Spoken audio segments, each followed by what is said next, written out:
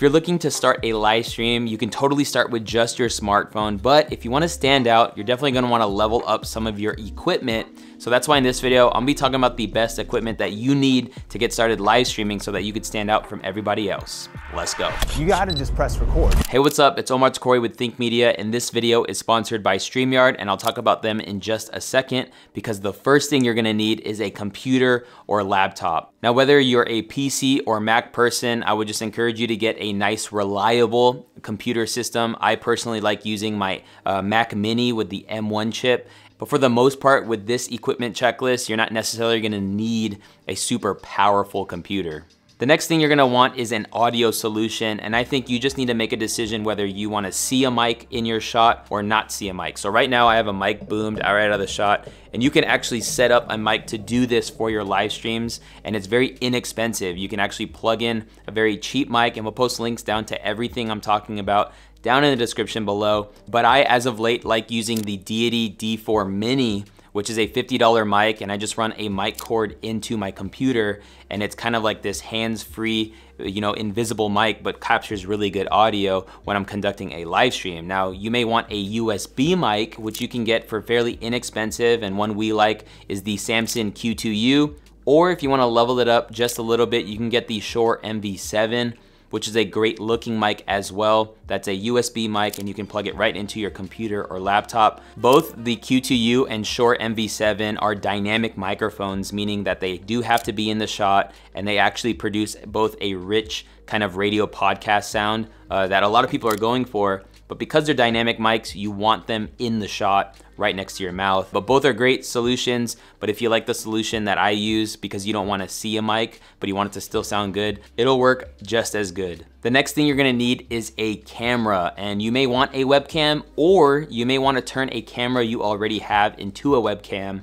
Uh, just to be straight up with you, if you're gonna go webcam, just go Logitech Brio. It's a great looking webcam and you can plug it right into your computer or laptop with a USB and be ready to go. However, if you want that blurry background look, you could totally use a camera you already use, whether that's using the USB port that's in your camera or using the HDMI out port that's in your camera, and then plugging the HDMI cable into a capture card, which you can inexpensively buy for around $25. And again, links to everything that I'm recommending down in the description below.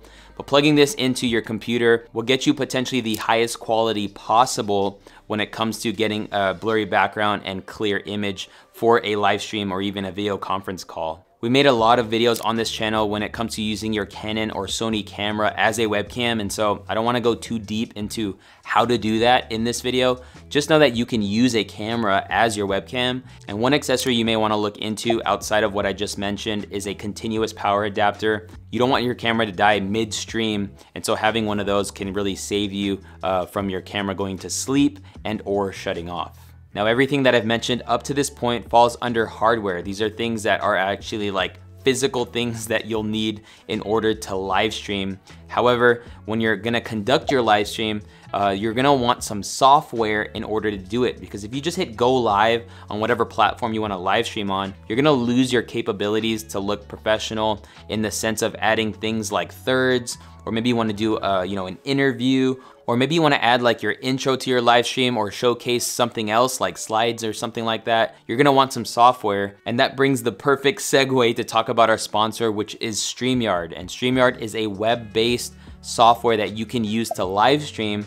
And honestly, StreamYard is what we use to live stream here on Think Media and our Think Media podcast, as well as our private Facebook groups with our students and communities. StreamYard just makes it so easy to be able to bring on a guest and conduct an interview, and then also transition between your guests or even your slideshow or PowerPoint while you're doing a teaching, as well as being able to brand your live stream with backgrounds and your logo and things like that. StreamYard hands down is one of the best tools that you can use to actually live stream also to multiple locations at one time. So you can actually hit live and go live on your YouTube channel as well as on Facebook and things like that. And so if you wanna check out StreamYard yourself, be sure to check out the link down in the description below. And one thing that StreamYard just added that I am super pumped about is actually what is called hotkeys. This allows you that at a push of a button that you can command something to happen while you're conducting a live stream. And so if you wanna change the look of something, you can actually tell a key on your keyboard to do it. But you wanna know what's better than using your keyboard to do it